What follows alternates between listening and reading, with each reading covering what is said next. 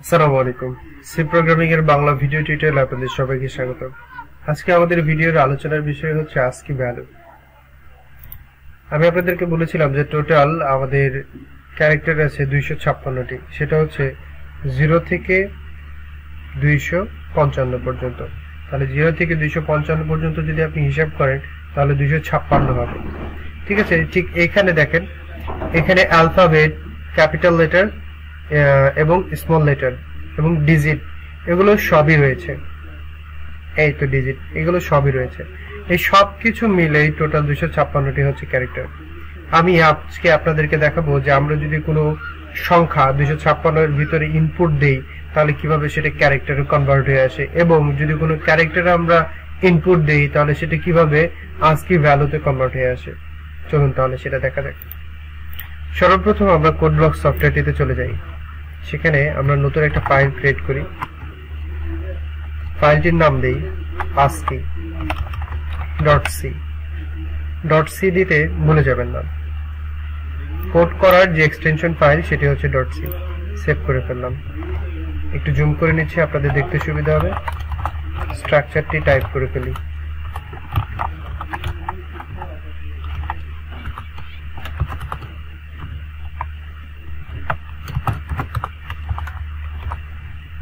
স্ট্রাকচারটি type শেষ হয়ে গেলে প্রথমে আমরা যেটা করব, সেটা হচ্ছে, আমি বলেছি আপনাদেরকে, আমরা ডিজিট সংখ্যা ইনপুট দিব দুইশো ছাপ্পান্নের ভিতরে ক্যারেক্টার আকারে আসবে এবং ক্যারেক্টার ইনপুট দিব সংখ্যায় আসবে।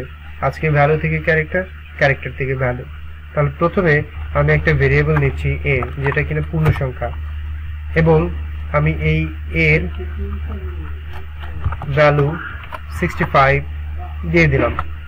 তাহলে এবার আমি যদি প্রিন্টএফে পার্সেন্টেজ সি যেহেতু আমি সংখ্যা থেকে ক্যারেক্টার প্রিন্ট করব আজকি ভ্যালু থেকে আজকি ক্যারেক্টার এ হচ্ছে একটা পূর্ণ সংখ্যা যেখানে সিক্সটি ফাইভ রেখেছি, এবং আমি জানি, আপনারাও জানেন সিক্সটি ফাইভ হচ্ছে বড় হাতের এ আমাদের আউটপুট হিসেবে আসবে। আমরা সিক্সটি ফাইভ এই পূর্ণ সংখ্যাটি ইনপুট দিচ্ছি, আমাদের আউটপুট হিসেবে আসবে এই বড় হাতের এটি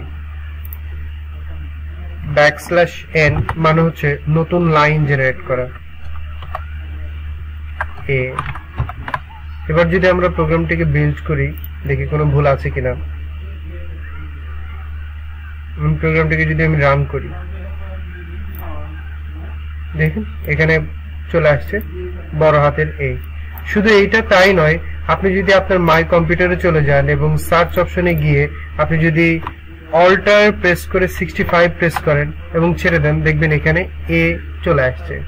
ঠিক সিমিলারলি আবার অল্টার প্রেস করে যদি আপনি সিক্সটি সিক্স প্রেস করেন, তাহলে দেখবেন বি চলে আসছে। এটা একটা ম্যাজিক ওকে চলুন, চলে যাই আবার আমাদের ব্যাক স্টেজ এখন আমরা যদি এখানে সিক্সটি ফাইভ চেঞ্জ করে সিক্সটি সিক্স দিতাম, তাহলে প্রিন্ট করে দেখি কি আছে। বি চলে আসছে। আমরা যদি এখানে সিক্সটি এবার এখানে যদি আমরা নাইনটি দেই, কি আসে একটু দেখি। নাইনটি দিলে জেড চলে আসছে, বড় হাতের জেড চলুন আমরা একটু মিলিয়ে দেখি আমাদের নাইনটিতে কি আছে নাইনটিতে বড় হাতের জেড এইভাবে আপনি চাইলে যে কোনো সংখ্যা ইনপুট দিবেন এবং তার ক্যারেক্টার প্রিন্ট হয়ে আসবে। এবার আমরা যেটা করব ক্যারেক্টার ইনপুট দিব এবং সংখ্যা প্রিন্ট করব।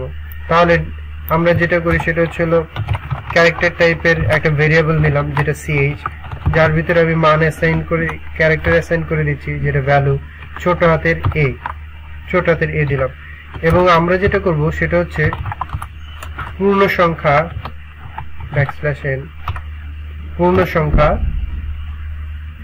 আমরা প্রিন্ট করব। তাহলে ব্যাকস্ল্যাশ এন এ সিএইচ আমাদের ভেরিয়েবলের নাম। আমি জানি আপনারা জানেন যে কমা অপারেটরের পরে যে ভেরিয়েবলটি আমি প্রিন্ট করব, সেটির নাম দিতে হয়। তাহলে একবার চলুন বিল্ড করে দেখি কোনো ভুল আছে কিনা। কোনো ভুল নেই রান করে দেখি। ছোট হাতের এ ইনপুট দিয়েছি আমি, এবং এখানে চলে আসছে নাইনটি সেভেন ঠিক আছে? চলুন এখানে আমি ছোট হাতের জেড দিয়ে দেখি। এবার একটু রান করে দেখি। Build run one twenty two চলুন আমরা এবার আমাদের ফরম্যাটের সাথে মিলিয়ে দেখি। One twenty two one twenty এই তো ওয়ান টোয়েন্টি টু হচ্ছে হলো জেড ঠিক আছে? এইভাবে আপনি চাইলে অনেক কিছু করতে চলুন আমরা আরও কিছু ক্যারেক্টার প্রিন্ট করে দেখি। যেমন ডলার সাইন দিয়ে দেখি। How about dollar sign dollar সাইনের জন্য কত আসে? যদি কখনো দেখেন যে আপনার কোড ব্লক সফটওয়্যারটিতে এরকম রান করা যাচ্ছে না, তার মানে বুঝে যাবেন যে আগের একটি ফাইল রান করা আছে, যার কারণে আপনি এই প্রবলেমটা ফেস করতেছেন, নতুন করে রান করতে পারতেছেন না। এটা যদি আমি কেটে দেই, তাহলে আমি আবার বিল্ডেন রান করতে পারব। থার্টি সিক্স চলুন এবার মিলিয়ে দেখি থার্টি সিক্স ডলার সাইনে yes thirty six dollar sign তাহলে এইভাবে আমি চাইলে আজকে ভ্যালু থেকে ক্যারেক্টার ক্যারেক্টার থেকে ভ্যালু কনভার্ট করতে পারব। তো এই ভিডিওতে বুঝতে যদি আপনাদের কোনো সমস্যা হয়ে থাকে, তাহলে অবশ্যই কমেন্ট বক্সে জানাবেন। পরবর্তী ভিডিওতে আপনাদের সাথে আবারও দেখা হবে। টিল দেন ভালো থাকুন, সুস্থ থাকুন। আসসালামু আলাইকুম।